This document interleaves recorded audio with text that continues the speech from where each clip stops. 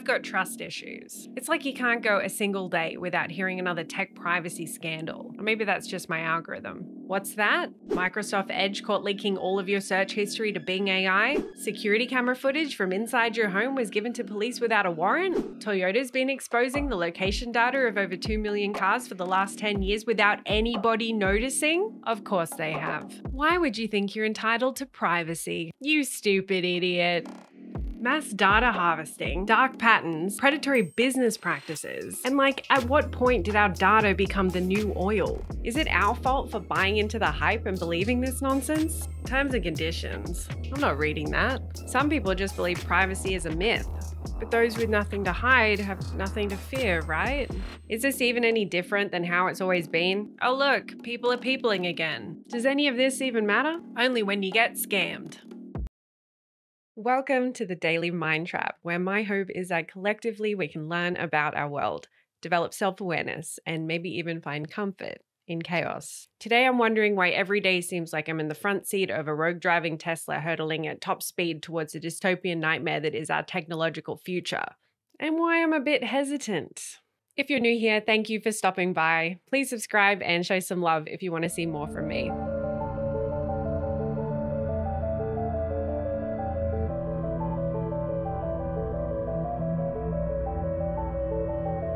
You haven't already escaped to the woods to grow organic vegetables, then you've probably heard of the Internet of Things. The S stands for security. See, because technology is getting cheaper and more advanced, it's now possible to connect almost anything to a Wi Fi network. Think about how you could rig up your house with multiple security cameras, sensors, and window contact alarms that all feed into a smartphone app. This app then sends real time alerts and info to not just your smartphone, but also your smartwatch, iPad, computer, emails, whatever, and can be controlled via voice commands or logged into via biometric software that scans your face. Not only is technology getting better at giving us seamless experiences between the digital and physical worlds, but this is also the kind of multifunctionality that many of us have come to expect from the digital products that we purchase. If I'm looking to buy a new washing machine, well, damn it, I need that washing machine to fit into my workflow. Every technological device or app promises to make us fitter, happier, or more productive. And we lap it up. Productivity hack answer work emails while you're pooping. Ever had what you thought was a fab idea for an invention, only to say it out loud and realize nobody really needs that? Well, just imagine if you connected that invention to the internet. A Fitbit for your overweight dog. A smart hairbrush that listens to your hair to see if you're brushing it wrong. Dental floss so you can track how little you've been flossing. Luggage that weighs itself.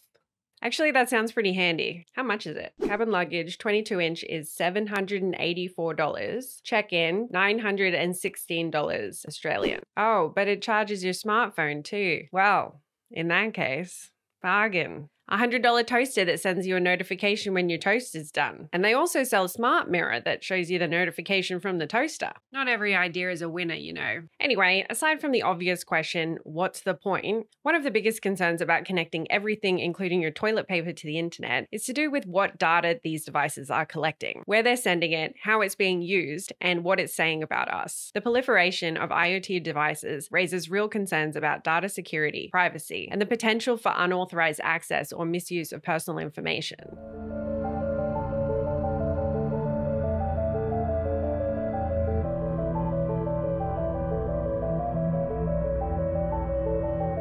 It's no secret that big companies like Meta and Google are making bank off our personal data. But if you're like me, you might have never taken the time to Google what personal data is Google collecting every time I search on Google. Turns out a lot of our personal information is exposed every time we visit a web page send an email, or enter that Facebook competition to win a new coffee machine. Out of all the major tech companies guilty of harvesting our data, by far the biggest offender is Google. Not surprising, as their literal business model is reliant on having as much data as possible about everything and providing super streamlined access to users. Google keeps a buttload of data on you, me, and the whole world. If it's data, then there's a good chance that Google is collecting it.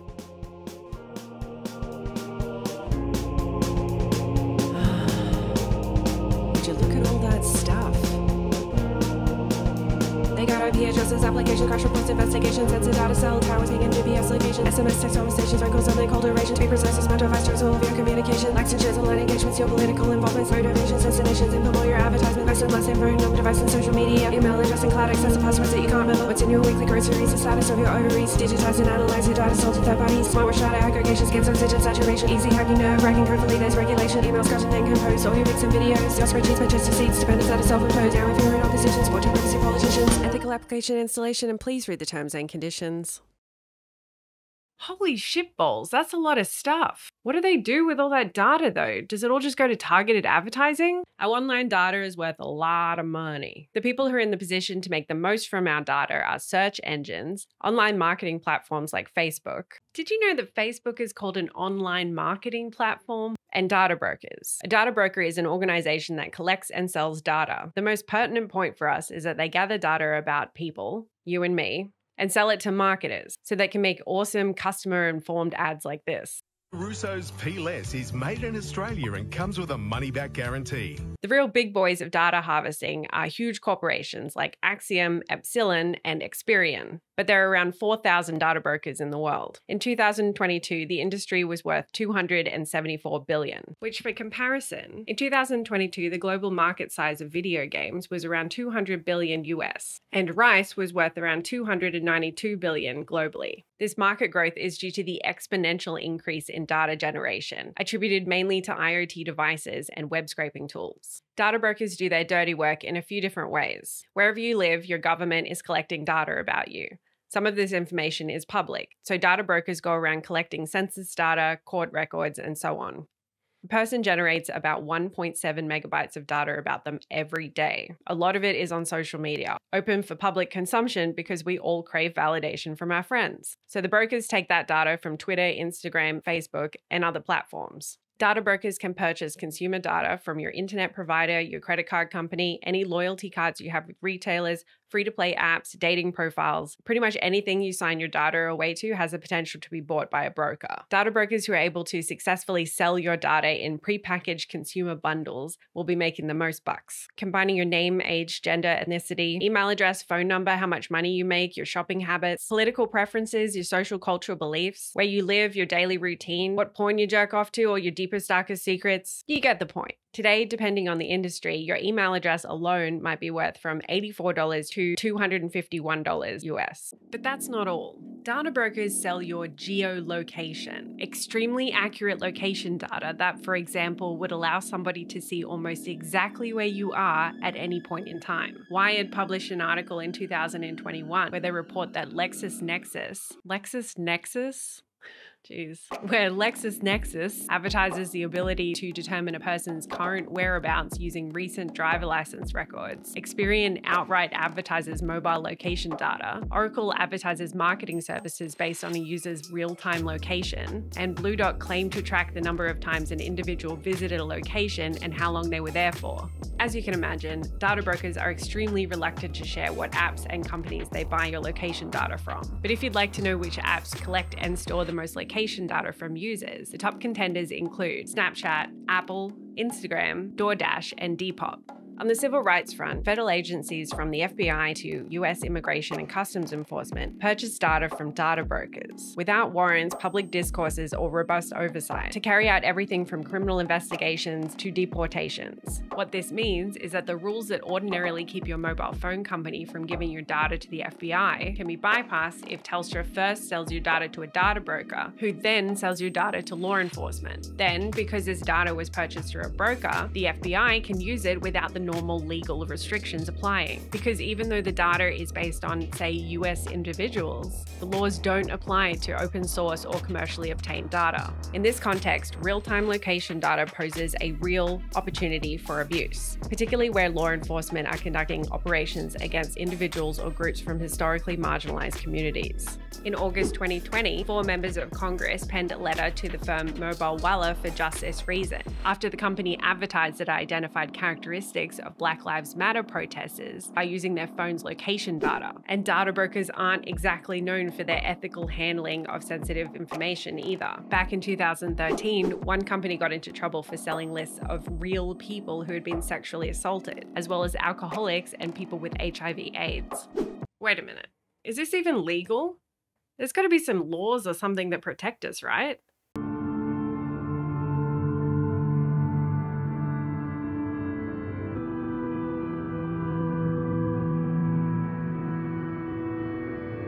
Well, the good news is that data brokering is legal just about everywhere. Shit, wait, no. No, the good news is that thanks to major privacy fuck ups, like from Facebook in 2019, as well as whistleblowers and privacy advocates, there are now laws that help regulate how companies gather data, what types of data they can collect, and what can be done with it. One major example is the European General Data Protection Regulation, the GDPR.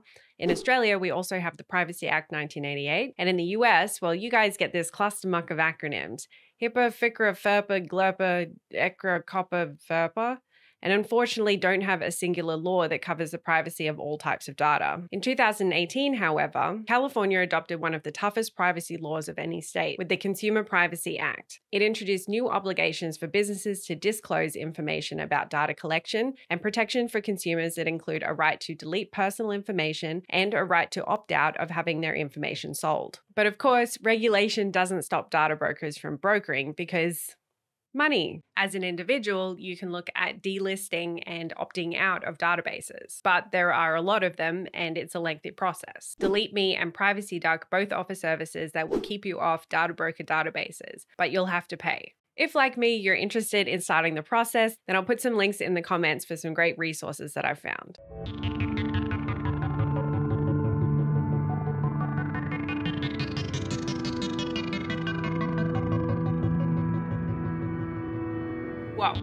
That's it. I'm done. This is too much for me. I don't want to be a part of this world anymore. Look, it's all about striking a balance between privacy and convenience. How much you're willing to risk versus how much you need to access these services. Many IoT devices serve important functions that aid people with disabilities, and improved connectivity can help ordinary people in lots of ways. So it's not about throwing all of your shit away and never connecting to the internet again. Really, you need to think about how much you need to access these types of services yourself, how they aid in your life, and what you're willing to risk in order to use them. Not all companies, not all software, not all devices are trustworthy. And it's our responsibility to do the work. Or if you're lucky, there'll be amazing people who do that legwork for you. And I'll absolutely put some links in the comments below for you to check out. And remember, just because you're connected with Google doesn't mean that there aren't some excellent alternatives that you just haven't heard about. Don't think that just because you're already within a certain technological ecosystem, that there isn't room for you to regain some of that privacy back. Just remember that when they say that something is free, it's most likely that you're the product. All right, I'm going to leave it there for today. If that didn't scare the pants off you, then I'm sorry. I'll try harder next time. I'm planning at least another four videos on privacy and technology, so please subscribe if you're interested in that. As always, if you'd like to continue the discussion in the comments with me, my question for you today is Do you think that companies should be allowed to profit off your personal data? Do you care what data is collected about you, or are you just a super chill, easygoing dude?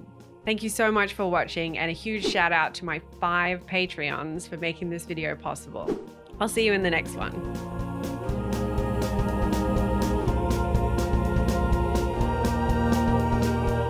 This app then smells, smells.